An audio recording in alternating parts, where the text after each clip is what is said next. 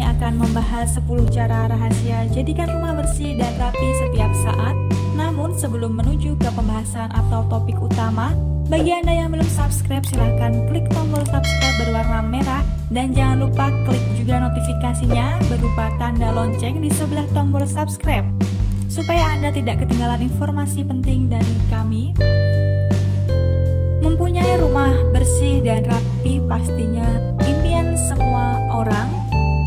Mulai dari ruang tamu depan yang siap menjamu tamu, kamar tidur yang senantiasa tertata rapi, hingga ruang keluarga yang hangat. Rumah bersih memang kunci kebahagiaan buat penghuninya. Selain membersihkan rumah menggunakan aneka alat kebersihan secara rutin, Sebenarnya ada loh trik-trik khusus yang bisa semakin menghadirkan rumah bersih, rapi, jali setiap saat. Oke, langsung saja saya kasih tips yang pertama, yaitu fokus pada hal-hal kecil. Untuk menciptakan rumah bersih, prioritaskan hal-hal kecil yang bisa mengganggu pemandangan seperti tumpukan pakaian, buku atau mainan yang berserakan di lantai hingga piring-piring kotor yang tergeletak di bak cuci piring. Dengan merapikan benda-benda ini akan muncul kesan rumah bersih setiap saat walaupun lantai belum disapu atau dipel bersih. Jadi daripada kamu sibuk menyapu dan mengelap lantai tetapi tidak memperhatikan benda-benda yang tergeletak di rumah, ada baiknya ciptakan rumah bersih mulai dari detil-detil ruangan terlebih dahulu. Untuk tips yang kedua, rumah bersih dimulai dari kebiasaan bersih. Pemilik rumah bersih tidak akan menunggu sampai rumah terlihat berantakan baru merapikannya. Sebaliknya, rumah bersih adalah sebuah usaha yang dilakukan secara terus-menerus, bukan cuma oleh individu, melainkan juga seluruh anggota keluarga yang tinggal di rumah.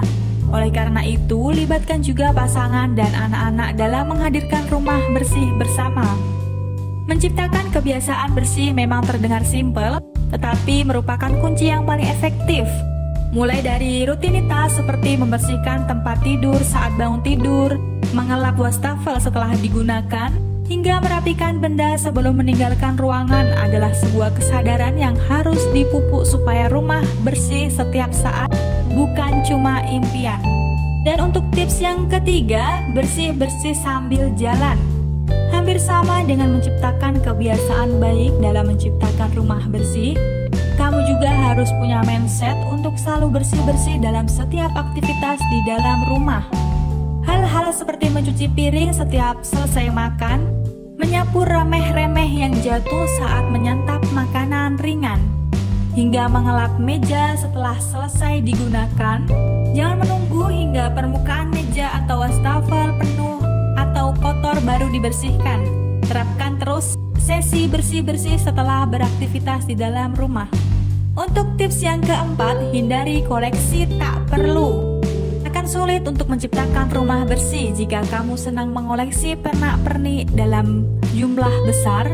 Rumah secara otomatis akan terasa lebih sesak jika kamu memiliki banyak benda di dalam rumah dan juga akan banyak waktu yang tersita untuk merapikannya sehingga cenderung rumah akan terlihat pengap, sumpek dan kotor bandingkan dengan rumah bersih yang selalu lapang. Oleh karena itu, usahakan untuk membuatkan keputusan yang bijaksana sebelum memutuskan untuk membeli sebuah benda atau collectible. Selain bisa punya rumah bersih, kamu juga bakalan bisa lebih hemat loh. Dan untuk tips yang kelima, fokus pada tiap ruang. Dibutuhkan fokus setajam elang saat membersihkan setiap ruangan supaya rumah bersih setiap saat bisa diciptakan. Hindari untuk membersihkan dari satu ruangan ke ruangan lainnya dalam waktu bersamaan. Usahakan untuk tetap fokus pada sebuah ruangan sebelum berpindah ke ruangan lain. Dengan demikian, kamu bisa berkonsentrasi secara sempurna dan tidak sampai kehilangan fokus. Untuk tips yang keenam, siap membuang benda. Banyak orang yang sulit punya rumah bersih karena terlalu sentimental dalam membersihkan ruangan. Demi menciptakan rumah bersih, jangan segan untuk menyingkirkan benda-benda yang sudah tidak berfungsi dengan baik atau tidak diperlukan lagi. Tips rumah bersih dari Marie Kondo pengarang buku pencipta teknik KonMari sekaligus sosok organisir rumah ternama di Jepang adalah hanya menyimpan benda yang memang punya manfaat secara langsung kepada pemilik rumah. Ini artinya kamu harus membuang atau menyumbang benda-benda yang sudah lama tidak digunakan, tidak bermanfaat dan tidak lagi punya fungsi di rumah. Untuk tips yang ketujuh, punya senjata bersih-bersih. Pemilik rumah bersih pasti akan punya koleksi lengkap alat kebersihan yang lebih lengkap dan jauh lebih memadai. Dimulai dari sikat, kain multifungsi, hingga cairan pembersih khusus untuk noda paling bandel. Ada baiknya kamu menciptakan perkakas alias senjata bersih-bersih yang paling lengkap. Dengan adanya senjata ampuh untuk rumah bersih milikmu, maka kamu tidak akan membiarkan kotoran tinggal terlalu lama hanya karena pembersih biasa tidak sanggup untuk menyingkirkannya. Kamu tentunya juga akan bangga punya perlengkapan bersih-bersih layaknya profesional. Untuk tips yang ke-8, meminimalisir kertas. Tumpukan kertas adalah salah satu jenis benda sehari-hari yang paling sering mengganggu pemandangan rumah bersih. Supaya kamu tidak punya rumah bersih bebas kertas yang tidak berguna, cari waktu untuk benar-benar menyortir seluruh kertas di rumah dan mulailah untuk mengarsir dengan benar.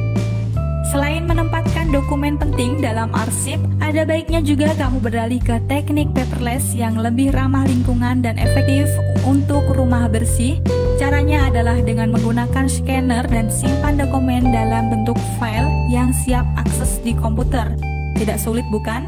Untuk tips yang kesembilan, siapkan laci atau ruang temporer. Tidak ada yang bisa sempurna dalam menciptakan sebuah rumah bersih.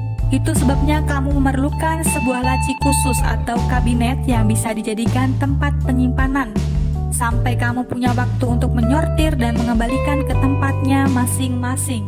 Laci ini bisa saja berupa laci di rak TV atau keranjang bumbu berukuran besar dengan tutup khusus hingga laci di ruangan garasi atau di sudut rumah. Kalau pandai memilih keranjang, keranjang juga bisa dijadikan elemen dekoratif. Jika waktu mendesak, singkirkan semua benda ke dalam laci atau keranjang ini untuk menciptakan rumah bersih secara instan tapi ingat untuk kembali membersihkan laci tersebut ya. Dan untuk tips yang terakhir atau tips yang ke-10, gunakan jasa bersih-bersih. Tidak punya waktu untuk bersih-bersih tapi tetap ingin punya rumah bersih?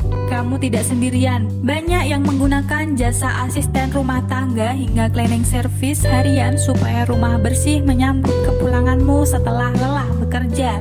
Tidak ada salahnya bagi pemilik rumah untuk menggunakan sumber daya yang ada dan membayar tenaga bersih-bersih yang ada. Demikian ulasan mengenai cara membersihkan rumah, 10 cara rahasia jadikan rumah bersih dan rapi setiap saat.